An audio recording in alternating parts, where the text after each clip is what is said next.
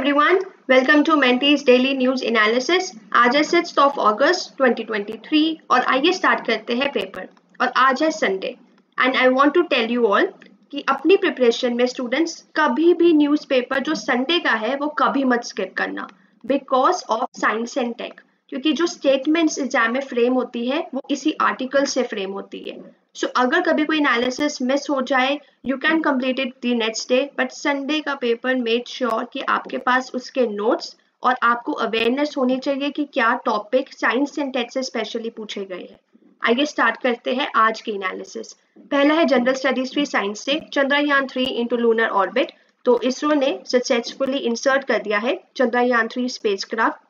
Moon के orbit में using the lunar orbit insertion अब जो ये स्पेस क्राफ्ट है, ये परफॉर्म करेगा retro burning at a prelune of 1835 seconds जिसमें रिज़ल्ट होगा intended orbit of 164 sixty four kilometre next है जनरल स्टडीज़ थ्री इन्वायरमेंट से, कि जो साइंटिस्ट है from wildlife institute of India इन्होंने स्टडी करा है clouded leopard in western Assam that is उसके मानस नेशनल पार्क में। और जो लेपर्ड के यूनिक फीचर्स है, जैसे कि large canine and rotated near ankle climbing down the head first ये कुछ यूनिक फीचर्स है लेपर्ड के। एंड अनलाइक अदर कार्निवोर्स जो क्लाउडेड leopard है, they do not follow specific pattern and they just move freely in the forest canopy general studies three science से next article है that species has been there that is a three forty ton whale species live thirty nine million years ago ये newly discovered ancient species है whale की and it is believe that it is one of the heaviest animal ever known and why because of the size and weight of the whale अब जो ancient whale है it had a high degree of bone mass indicating an adaptation for shallow diving अब बाकी ये भी estimated है कि जो स्केलेटन मास है it can surpass any known mammal और aquatic vertebrate we can say so this is important and even this is important that species जो डिस्कवर हुई है, उसका जो पार्शल स्केलेटन है, वो डिस्कवर किया गया था सदर्न पेरू में and approximately it is 39 million years ago old जो आगे सजेस्ट हमें कर रहा है कि जो बॉडी मास है, वो 85 से 340 टन्स के बीच में हो सकता है which is making the heaviest animal ever described next है tropical trees of the same species grow further apart so एक न्यू स्टडी है जो शो कर रही है कि जो ट्रॉपिकल ट्रीज है it tend to grow farther away from other tree species when you compare both to different species और जो ये observed distance है between the tree of same species ये greater है by chance we can say या we can say कि जो species contribute करते हैं to the stability diversity ये सब exceptionally high diversity के कारण है tropical forest में next general studies three science से enzyme identified as potential anti diabetic target तो what is happen is that तो जो D P P four that is the dipeptide peptides four ये important therapeutic target है for managing type two diabetes और जो gut microbe है it may contribute to this but it is unclear कि कौन सा गट बैक्टीरिया इसको produce कर रहा है और क्या इफ़ेक्ट हो रहा है इसका होस्ट हेल्थ पे. तो अभी जो क्या है रिसर्चर्स है, वो एक प्लेटफॉर्म डेवलप कर रहे हैं कि हम इन्वेस्टिगेट करें माइक्रोबियल होस्ट आइजोजोम को और आइडेंटिफाई करें DPP4 जो एक्सप्रेस किया जा रहा है by specific bacteroides which is in human and even in microbiota next है साइंस के परस्पेक्टिव से that the enigmatic Indian eagle owl so जो इंडियन ईगल आउल है, वो रिसेंटली क्लासीफाई की गई है as a distinct species from Eurasian eagle owl जो कि कैरेक्टराइज किसके कारण? By we can say size because there the female region up to two and half feet in length have in six feet wind span अब जो ये owls है they are not much known because of the secretive behaviour and they are found in Indian Peninsula, primarily in open scrubland and agricultural forest. And जो Indian eagle owl है इसके बारे अगर हम देखें it is like all so many superstition around the species लेकिन however they play beneficial role beneficial role किस चीज़ में? In controlling rod and population near agriculture land which benefit farmers और इसी अंडरस्टैंडिंग के कारण, इसी बर्ड एक्टिविटीज़ के कारण its effects are important ensuring की प्रोटेक्शन और रिकग्निशन बनी रहे रिसर्च में Let's say general studies 3 science say that cooler past is a current climate substantially warmer than during the medieval period. तो एक एनालिसिस है रिकॉर्ड की नॉर्दर्न यूरोप में over past 1170 years ago we can say that is indicating जो current climate है it is significantly warmer than the medieval period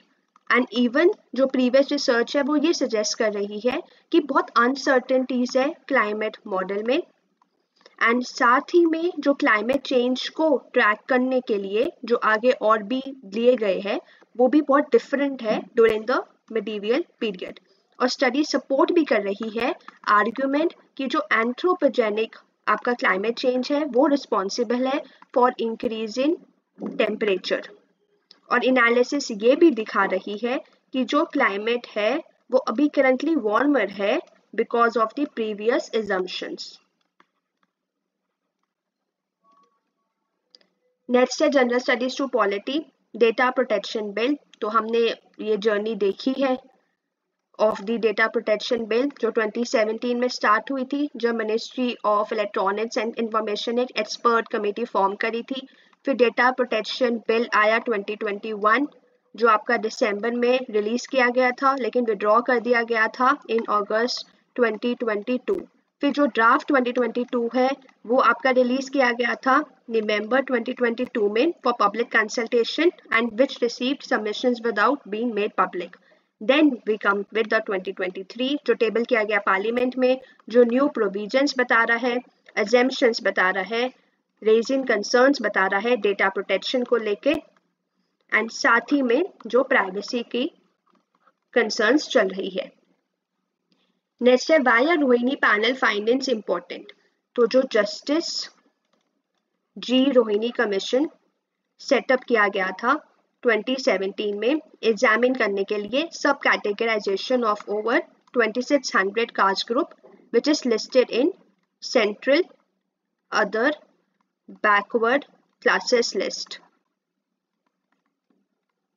अब commission का aim क्या था? कि आइडेंटिफाई करो dominant caste group availing 27 percent reservation and other government benefit जो OBC के लिए है एंड एक्सप्लोर करो बाकी वेज कि हम कैसे रीडिस्ट्रीब्यूट करें बेनिफिट्स को more equitably among historically under privilege community अब कमीशन ने अपनी रिपोर्ट प्रेसिडेंट को सबमिट कर दी गई है बट अभी भी जो फाइनेंस है उसके सिग्निफिकेंट इम्प्लीकेशन हो सकते हैं सोशो इकोनॉमिक स्टेटस पे and even the electoral dynamics of OBC community पे।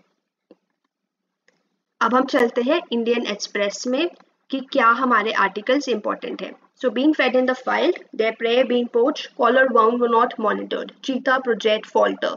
so ये जब हमने साउथ अफ्रीकन नाम्बियन एक्सपर्ट ने ये रेस करे हैं serious concerns because you can see कि कितने चीता भी uh, मर रहे हैं and we have seen the reasons also तो ये आपका बताया कि कब से वो लास्ट सितंबर में अराइव किए गए हैं तो what has been the timeline and what has happen September 17 from Namibia effectively अभी पाँच बचे हैं। 17 2022 8 plus 4 cheetah from Nambia and February 18 2023 12 cheetahs from South Africa 7 left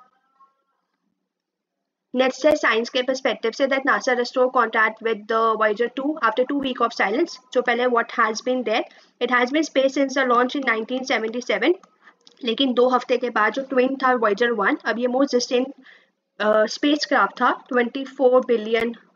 kilometre away अब यहाँ पे जो दोनों वीक आउटरेज था वो परहैप्स लॉन्गेस्ट था because NASA had gone without being hearing from it अब वही रिस्टोर हो गया है कॉन्टैक्ट नेक्स्ट इकोनॉमी के परस्पेक्टिव से that how the online dispute resolution system announce by SEBI will work तो एक new online dispute resolution system जिसमें आपका था कि इंस्टीट्यूशन होंगे कंसलेटर्स होंगे एंड आर्बिटर्स होंगे कैपिटल मार्केट के लिए जो नया सिस्टम सेबी लेकर आ रहा है तो सेबी ने अनाउंस करा है कि जो हर कोई यहाँ पे मार्केट इंफ्रास्ट्रक्चर इंस्टीट्यूशंस बनाए जाएँगे वो आइडेंटिफाई करेंगे। एक या इंडिपेंडेंट ओडीआर इंस्टीट्यूशन को इनमें आपके क्वालिफाइड आर्बिट्रर होंगे और साथ ही में अब कौन इसको फॉर्म कर सकता है और इससे क्या इम्प्लीटेशन होगा वो यहाँ पे बताया गया है। ये आपके इकोनॉमी के परस्पेक्टिव से इंपॉर्टेंट है। सो so, ये थी आज की analysis I hope you like this video please don't forget to share and subscribe to Menti Academy. Thank you. Have a nice day.